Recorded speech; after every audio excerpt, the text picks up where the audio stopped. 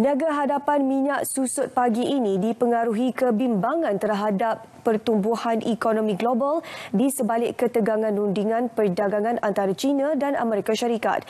Niaga hadapan minyak mentah Brent berada pada 70 dolar 49 sen setong, jatuh 0.2% daripada penutup sebelumnya.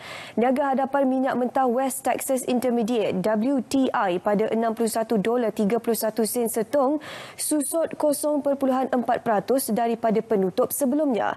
Konflik perdagangan antara China dan Amerika semakin meningkat berikutan Amerika mengenakan tarif bernilai 200 bilion dolar ke atas barangan China.